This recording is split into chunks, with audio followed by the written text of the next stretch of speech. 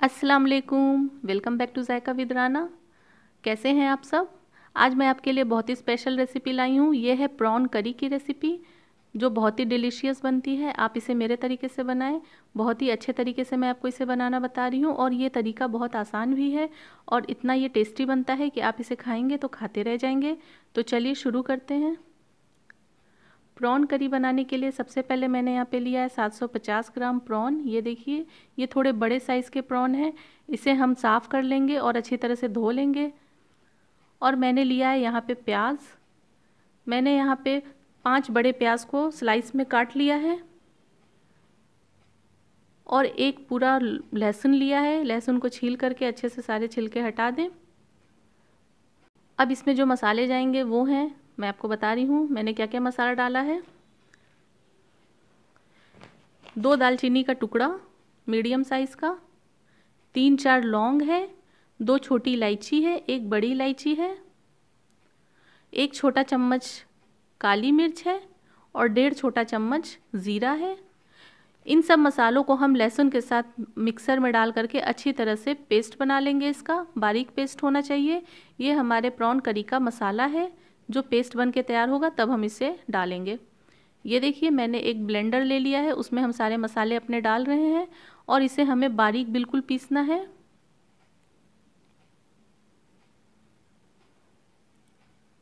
बस इसमें हम अब थोड़ा सा पानी डालेंगे ताकि मसाला पीसने में आसानी हो और इसे मिक्सर में अच्छी तरह से चला करके पीस लेंगे।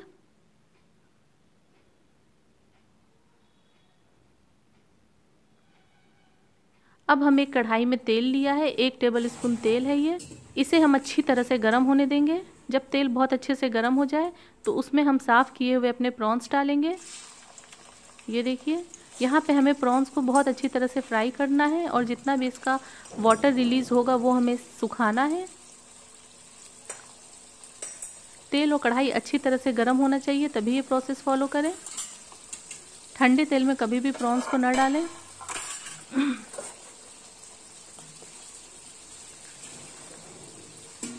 सारे झींगे मैंने डाल दी अब हम इसे लगातार चलाएँगे। जैसे जैसे ये गर्म होगा, वैसे वैसे इसका कलर वाइट से ऑरेंज होता जाएगा। ये काम आप हाई फ्लेम पे करें, गैस धीमी ना रखें, तेज़ गैस पे हमें इसे अच्छी तरह से फ्राई करना है। अब हम इसमें आधा चम्मच नमक डाल दे रहे हैं, ताकि फ्राई करते टाइम इसमें अच्छी तरह से अंदर तक नमक चला जाए। आप देख सकते हैं कि प्रॉन्स ने पानी छोड़ दिया है। इस पानी को हमें जलाना है। तेज़ आँच पे अच्छी तरह से चलाते हुए पानी को हम बिल्कुल जला देंगे। आप देख सकते हैं पानी सूख गया है और तेल छोड़ दिया है प्रॉन्स ने। तो बस ये रेडी है। अब हम गैस बंद कर देंगे। और अब हम तैयार करते हैं इसकी ग्रेवी के लिए मसाला। मसाला तैयार करने के लिए हमने एक बर्तन में दो बड़े चम्मच तेल डाला है। इसमें हम डालेंगे दो तेज़ पत्ता तेज़ पत्ते को हल्का सा फ्राई करेंगे। अब हम इसमें डालेंगे स्लाइस किए हुए प्याज। पाँच से छः प्याज को अच्छी तरह से स्लाइस कर लें। इस प्रॉन करी में प्याज थोड़ा ज़्यादा जाता है। ये बेस है मसाले का हमारे। हमें इस प्याज को ब्राउन होने तक फ्राई करना है। बहुत ज़्यादा डार्क ब्राउन नहीं करना है, लेकिन हल्का ब्राउन इसे हमें करना पड़ेगा।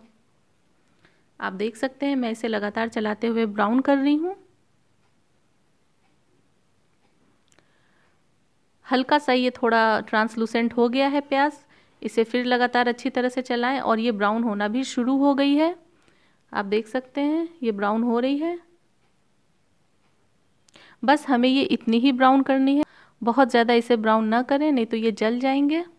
अब हम इसमें ऐड करेंगे मसाले। जो मसाले हमने ब्लेंडर में डाल करके पीसे हैं, वो मसाले अब हम इसमें यहाँ पे ऐड करेंगे।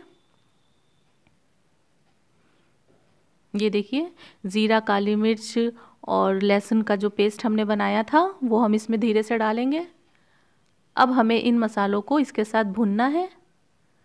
हल्का सा पहले मिक्स करेंगे और इसमें कुछ मसाले और जाएँगे, वो मैं आपको बताती हूँ। इसमें जाएगा एक छोटा चम्मच मिर्च। मिर्च आप अपनी टेस्ट के हिसाब से बैलेंस करें। एक छोटा चम्मच हल्दी पाउडर।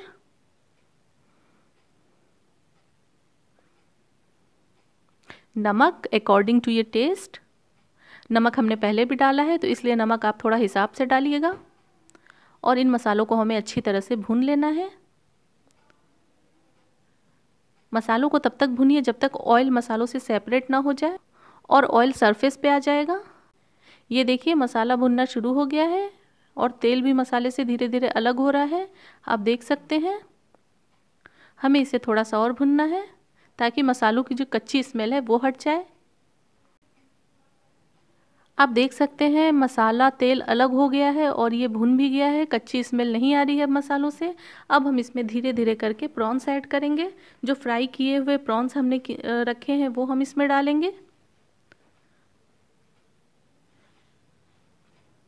तो हम प्रॉन्स इसमें डाल रहे हैं।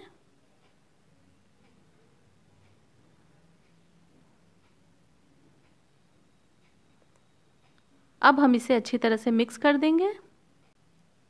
अच्छी तरह से मिक्स करने के बाद हम इसमें डालेंगे एक गिलास पानी, ताकि मसाले हमारे जले ना।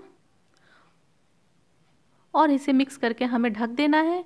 इसे हमें बहुत ज़्यादा देर अब नहीं पकाना है, बस पाँच से छः मिनट हम पकाएँगे,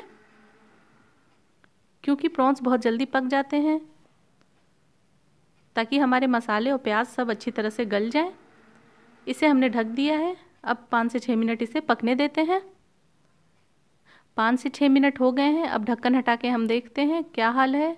प्रॉन करी का ये देखिए, तेल बिल्कुल सरफेस पे आ गया है और मसाले भी अच्छी तरह से पक गए हैं, प्याज गल गई है अच्छी तरह से और इसकी ग्रेवी थिक हो गई है। अब यहाँ पर आपको जैसा भी खाना पसंद है, आप वैसा बनाइए। अगर आपको ग्रेवी और चाहिए तो इसमें यहाँ पे आप और पानी ऐड कर सकते हैं। और ग्रेवी को थोड़ा पतला कर सकते हैं, लेकिन ये ज़्यादा अच्छी थिक करी के साथ ही लगती है। इसी तरह से आप बनाइए, बहुत ही टेस्टी बनेगी। और बस ये बन करके रेडी है, अब हम इसे सर्व कर रहे हैं। प्रॉन करी की ये रेसिपी बहुत ही स्पेशल और बहुत ही अच्छी है, आप इसे ट्राई ज़रूर करिएगा। और अगर आपको मेरी वीडियो पसंद आए तो लाइक, शेयर और सब्सक्राइब करिए। Thank you for watching.